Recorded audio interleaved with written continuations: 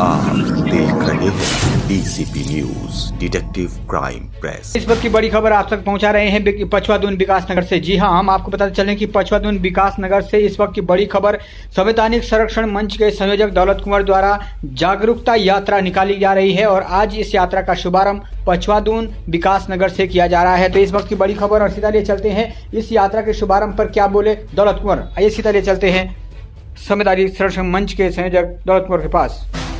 हमारी जो प्रस्तावित यात्रा थी, संविधान जागरूकता यात्रा, वो विकास नगर से शुरू हो चुकी है और ये यात्रा जौनसार बावर के अनेकों गाँवों में जाएगी और हमारे यात्रा में जो साथी हैं, इसके हम और आगे जाकर बढ़ेंगे हमारे साथ में और विशेष करके जो अभी महापंचायत कालसी ब्लॉक सभागार में हुई थी, जिसमें एक सौ गाँव के सियाणा और प्रबुद्ध जन व्यक्ति उसमें आए थे।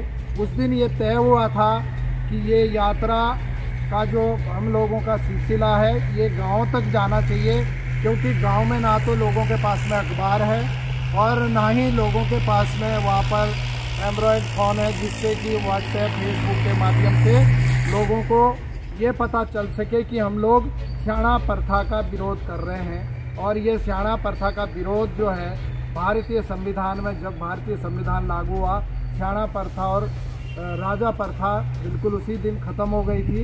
लेकिन जौनसार बावर में फिर दोबारा उसको ज़िंदा करने के लिए 155 साल के बाद जो स्याणा प्रथा लागू कराई जा रही है ज़बरदस्ती, उसका हम विरोध करते हैं। और मैं अब चाहूँगा कि हमारी यात्रा में जो शामिल लोग हैं, सभी साथियों का बहुत बहुत धन्यवाद। आप देख रहे हैं। DCP news detective crime press